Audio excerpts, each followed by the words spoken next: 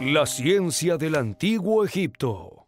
Los antiguos egipcios fueron grandes matemáticos y científicos. De hecho, a ellos se les debe el calendario de 365 días con cada día dividido en 24 horas. Es ese mismo calendario que hoy usamos para saber en qué día de la semana estamos o cuándo empiezan las vacaciones. Entre todos los científicos del imperio, hubo uno que se destacó por toda la eternidad. Fue Imhotep, el sabio. Imhotep fue el fundador de la medicina egipcia. Se desempeñó como sumo sacerdote y visir del faraón Soser, a quien le diseñó la primera pirámide escalonada, con la que se convirtió también en el primer arquitecto conocido de la historia.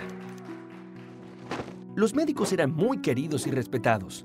En Egipto se escribieron muchos papiros médicos que fueron pasando de generación en generación, ampliando el conocimiento sobre las enfermedades. Gracias a estos papiros, sabemos que ya ellos tenían como nosotros ahora médicos especialistas para tratar las diferentes enfermedades de la piel, de los huesos, de los dientes y del corazón, entre otras.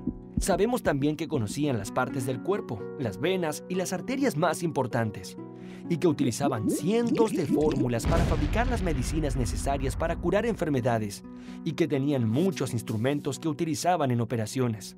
Por supuesto, los médicos cuidaban de la vida, pero también de la muerte, inventando las estupendas momificaciones que los hicieron famosos.